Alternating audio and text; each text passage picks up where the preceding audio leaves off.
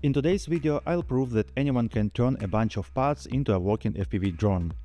We're going to build one of the cheapest 7-inch long-range quads. It can carry a camera for long flights and personally I find flying 7-inch a bit easier than 5-inch.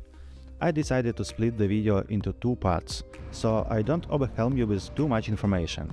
In first part, which you are watching right now, I'll walk you through the full assembly process and give you a complete list of components and tools you need to succeed. In the second video, we'll upload the firmware, configure the quad and get it fly.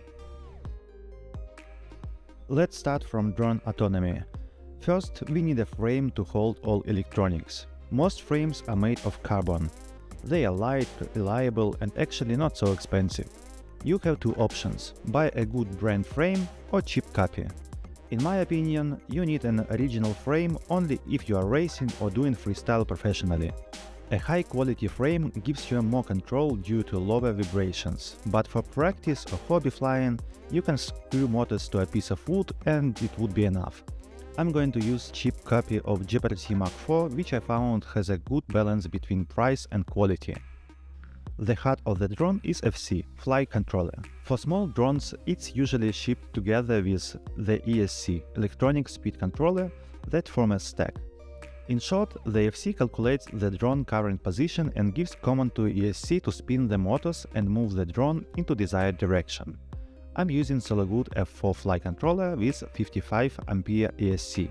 Here are the key things to pay attention to. This stack has standard mounting holes, so it's compatible with my frame. The ESC supports 3S to 6S batteries. The ESC can handle 55 ampere per motor. That means as long as your battery doesn't output more than 200 in total, you are safe. The motors are trickiest part of my entire build. I found these no-name cheap motors and they were surprisingly good. Of course, they suck compared to Black Hornet, Mamba Toka, Xing or even Emax. But they cost 3-4 times less and still showed good performance during flight. In addition to motors, I bought 7-inch HQ props in size 70-40. To turn drone into FPV, obviously we need a camera. Digital systems are expensive, so I'll use the analog Caddx Ratel 2 camera. The closest competitor is Runcam Phoenix SE, but in my opinion, the Caddx has better image quality. There are many camera comparison videos on YouTube, so you can choose for yourself. But keep in mind, to fit in the Mark IV frame, the camera should have 19x90 mounting holes, otherwise you need to find an adapter. If you don't want to lose your drone, I recommend buying a good video transmitter. My personal favorite is Rush Tank Max Solo. It has 2.5 watts of power, which is critical for long flights. As a bonus, it has a cooler inside which may be helpful in summer and a cute box for collecting small screws. You also need an antenna. Rush Cherry antennas are good, especially the second generation. I recommend buying the longer version since you won't hit any gaps and it will not interfere. The longer antenna will always stay above the battery, giving you better signal. And since we are using analog video, consider choosing one with right hand polarization. Last but not least, we need a receiver to control the drone. I'm going to use an ELRS receiver. It's an open source platform, so these receivers are cheaper and customizable. Additionally, I've chosen the 915 MHz frequency, which is much better for long distance flights. You can follow my choice as long as your controller supports this frequency and protocol, because most transmitters are tuned to 2.4 GHz. I usually start the assembly process with the frame.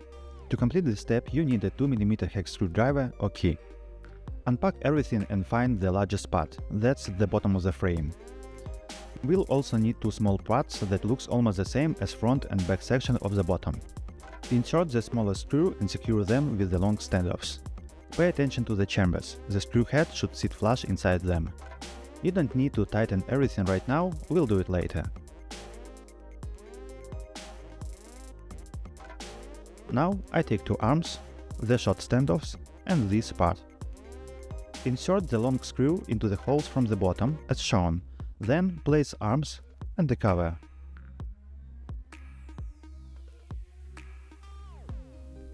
I find it easier to attach everything with the standoffs first and then tighten the screws into the nuts. Repeat the process from other side.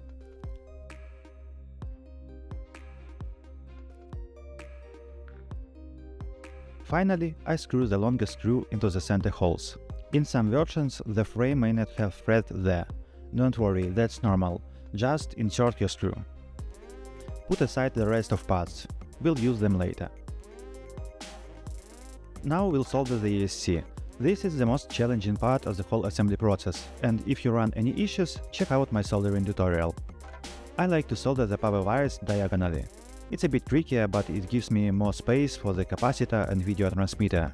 You can solder wires directly on the frame to get angle right, but I'll do it separately, so I can show you the process up to close.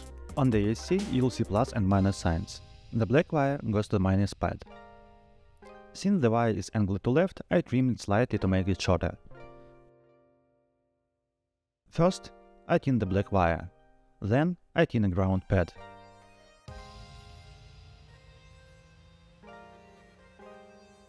The ESC will heat up during soldering, so use a piece of cardboard from the stack box to protect your fingers. Use your largest soldering tip, set the temperature to 380 degrees Celsius and add some flux. Then solder the wire. Make sure the solder melt on both the pad and the wire at the same time, and don't worry if the joint doesn't look perfectly, we'll fix it a bit later. Now repeat the process for positive contact. It less power hungry, so soldering is a bit easier. If the ESC gets too hot, let it cool for a minute before continue.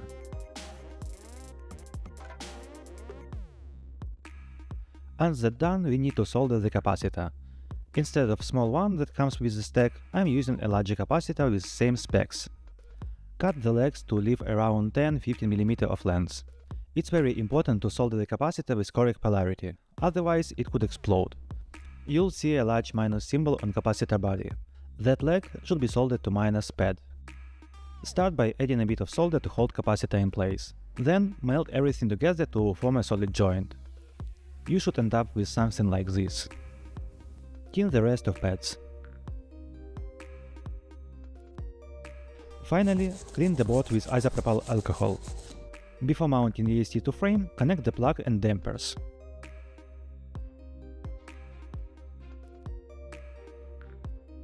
Also, I like to add the nuts to keep it in place. Unpack the motor and screw it onto the frame arm.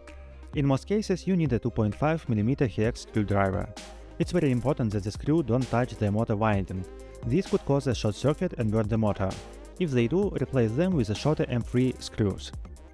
Roll the motor wires along the arm and secure them in the middle with a zip tie. Now we need to solder the wires to the first three pads in any order. There are many ways to position the wires, but I prefer placing them one above other outside the ESC. This way the wires don't block ESC ventilation and you can replace the motor without deassembling the drone. Just be careful and make sure the wires won't touch the flight controller. I start by cutting and soldering the first wire. Then I cut the second one and place it directly above the first. Repeat the same process for the third wire. Wire the other motors is the same way. Tin each wire, add some flux and solder it to the pad. For motors I use the same soldering tip but lower the temperature. I find that 350 degrees Celsius works best with my soldering iron.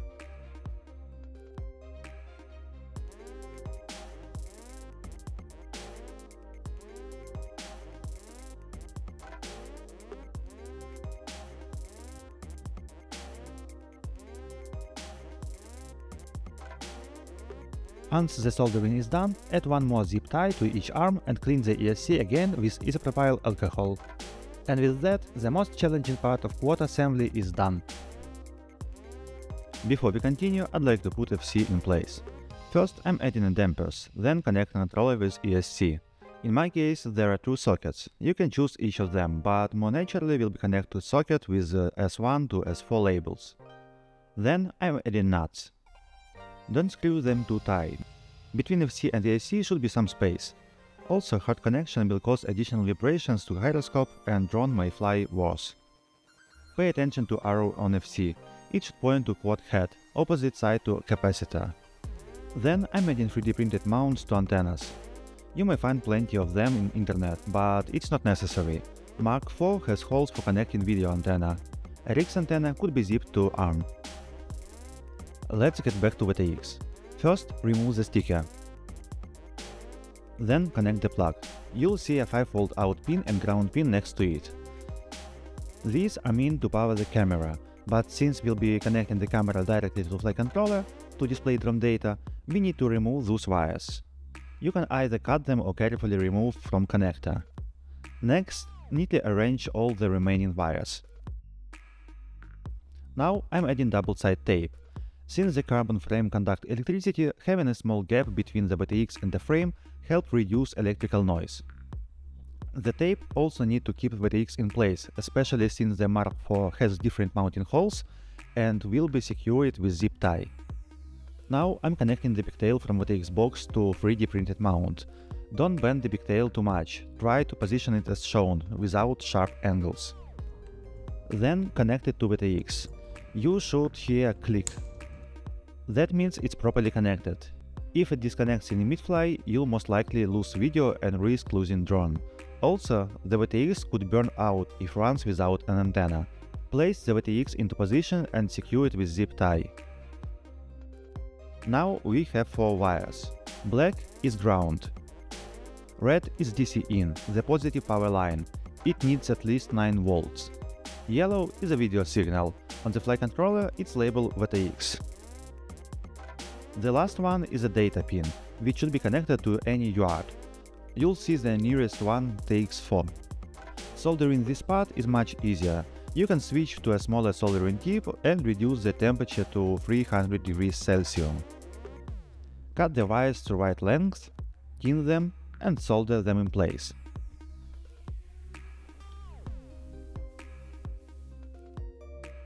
It's time to connect the receiver. Unpack it and carefully remove the antenna it's already connected. Be gentle to avoid damaging the connector. The receiver has 4 pins. Technically, you can connect the wires in any order, but I recommend always using black for ground and red for 5V. Such consistency helps reduce the chance of errors. As for the signal wires, it's up to you, but make sure to remember pin out. I suggest using white for RX and yellow to TX. Tin the pads on the receiver, then solder all wires. Once soldering is done, clean the board with isopropyl alcohol. Organize and secure the wires. Now reconnect the antenna and cover the receiver with a heat shrink tubing. It's usually included in the package. I recommend using a transparent one, so you can see the status of LED if needed. Mount the antenna to the drone. You can use a 3D printed mount or attach it to arm. Just make sure it's not bent and propellers won't hit it. Soldering the wires to flight controller is simple. Black wire goes to ground, red wire goes to 4.5 volt. If the white wire connected to a RX on receiver, then it should go to TX on flight controller. Yellow wire goes to a RX. There are three pins left to solder. First, connect the plug to camera. Then, using 1.5mm hex screwdriver, secure it to the camera mount on frame. Make sure the connector is on top, that's the correct camera orientation. If it's upside down, the image will be flipped.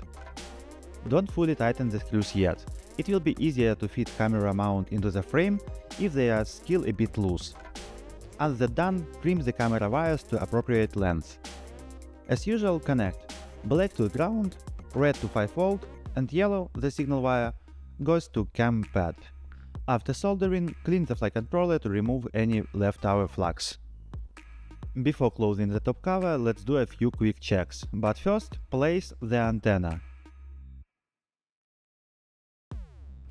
First, run a continuity test. Use a multimeter to check between the positive and negative power pads. If you hear beep for just a second or two, that's normal. The multimeter is just charging the capacitor. If the beep continues, that indicates a short circuit. Start by inspecting board visually, then unplug parts one by one to isolate the issue. Next, test the motors. Place one probe on a ground pad and the other on each motor output pad. there should be no continuity. If there is, something wrong. It's also normal for three pads on a single motor group to show continuity between each other, since they are internally connected. But different motor groups should not show continuity between them. Before we continue, I want to emphasize one more time. Make sure to screw on the video antenna first. If you power up the VTX without antenna, it can easily get damaged. Also, I strongly recommend buying a smoke stopper. It's a small safety device that guards between your battery and the drone. Either a short circuit, the smoke stopper cut the power before anything burn. It costs just a few bucks, but it can save you expensive electronics. And trust me, you don't want to see how battery catch fire. So, do yourself a favor, get a smoke stopper. Once you connect the battery, you should hear the startup tones. If you do, congratulations, you successfully assembled your quad.